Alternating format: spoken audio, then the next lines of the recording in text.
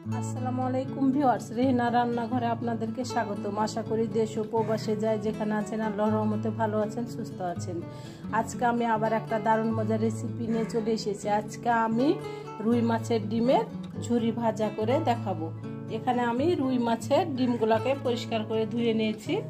আমার এখানে প্রায় হাফ কেজি রুই মাছের ডিম আছে। এটা আপনি ধোয়ার পরে আপনি আবরণটা তুলে ফেলবেন। ধোয়ার আগে যদি তুলে ফেলেন, তাহলে আপনার মাছের ডিমগুলো বেরিয়ে যাবে।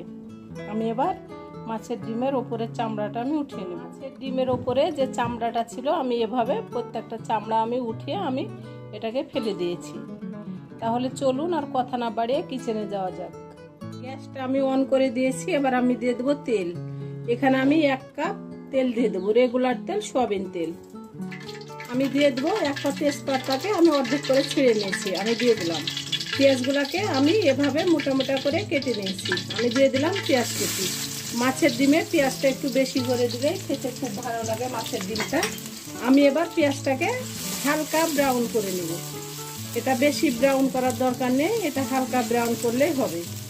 আমার হালকা ব্রাউন হয়ে গেছে, এবার আমি দিয়ে দেবো লবণ, স্বাদ অনুযায়ী। আমি এখানে দিয়ে দেবো আদা বাটা এক চামচ, রসুন বাটা এক চামচ। আদা রসুনটা দেওয়ার পরে আমি বিশ থেকে পঁচিশ সেকেন্ড ভেজে নেব। তাহলে আদা রসুনের যে একটা কাঁচা গন্ধ আছে, তাহলে সেটা চলে যাবে। আমি দিয়ে দেব ধনিয়ার গুঁড়া এক চামচ, মরিচের গুঁড়া এক চামচ, জিরার গুঁড়া এক চামচ, হলুদের গুঁড়া হাফ চামচ। গুঁড়া মশলাগুলো আমি দিয়ে দিয়েছি, এবার আমি অল্প করে পানি দিয়ে দেবো। গুঁড়া মশলাগুলো যেন পুড়ে না যায়। এবার আমি গুঁড়া মশলা দেওয়ার পরে তিন থেকে চার মিনিট আমি ভালো করে কষিয়ে নেব। গুঁড়া মশলা দেওয়ার পরে অবশ্যই তিন থেকে চার মিনিট ভালো করে কষিয়ে নেবেন। আপনি অল্প তেল মশলা ব্যবহার করেন, কিন্তু আপনি মশলাটাকে তিন থেকে চার মিনিট কষিয়ে নেবেন। আপনার যে কোনো তরকারি খেতে অসম্ভব টেস্ট। মশলাটা আমি তিন থেকে চার মিনিট কষিয়ে নিয়েছি। দেখুন, আমার তেলটা উপরে ভেসে চলে এসেছে। আমি এবার দিয়ে দেব আলু। আমি এখানে মাঝারি সাইজের দুইটা আলুকে আমি কুচি কুচি করে কেটে নিয়েছি। এভাবে আলু ভাজির মতো করে আমি কুচি কুচি করে কেটে নিয়েছি। আমি মাছের ডিমের ঝুরি ভাজিটা আলু দিয়েই করব।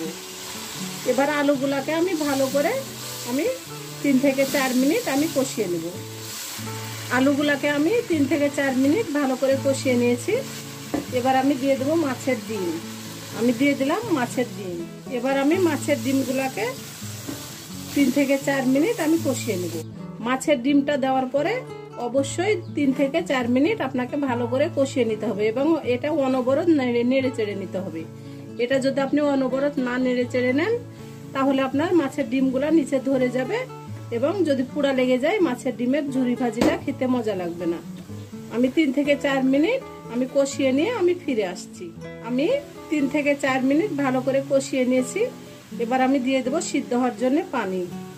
মাছের ডিমটা আপনার সহজ রান্না, তারপরও আপনাকে মাছের ডিমটা প্রায় ২০ মিনিট রান্না করতে হবে।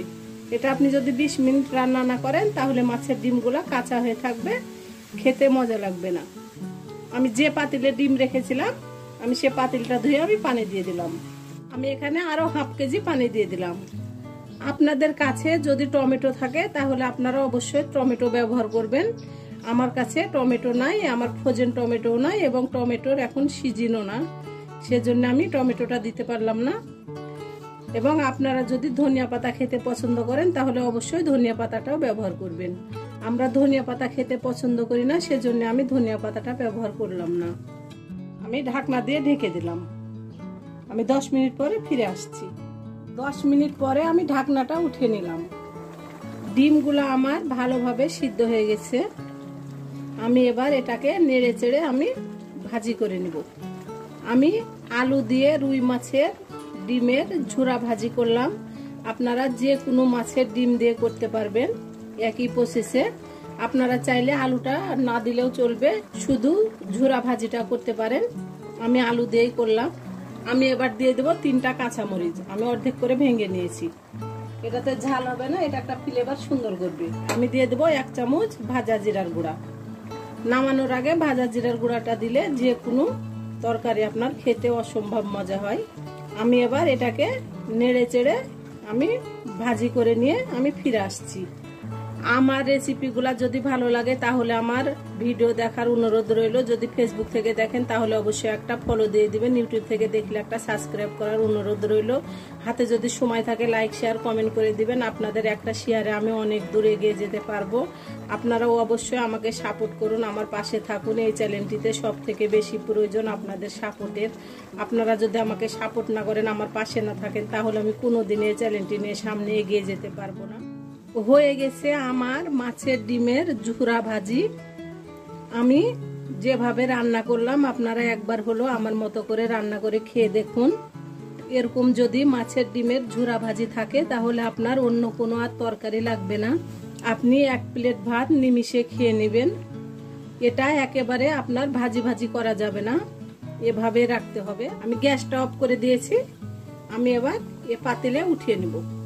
আমি উঠিয়ে নিয়ে আপনাদেরকে আমি পরিবেশন করে দেখাচ্ছি। হয়ে গেছে আমার পরিবেশন করা। আশা করি আমার রেসিপিটা অবশ্যই ভালো লাগবে। যদি ভালো লাগে তাহলে আমার চ্যানেলটিতে লাইক কমেন্ট শেয়ার করতে ভুলবেন না। বেশি বেশি করে সাবস্ক্রাইব করার অনুরোধ রইল। তাহলে আজকের মতো এখানে বিদায়। আবার অন্য কোনো রেসিপি নিয়ে আসব। সবাই ভালো থাকবেন। আল্লাহ হাফিজ।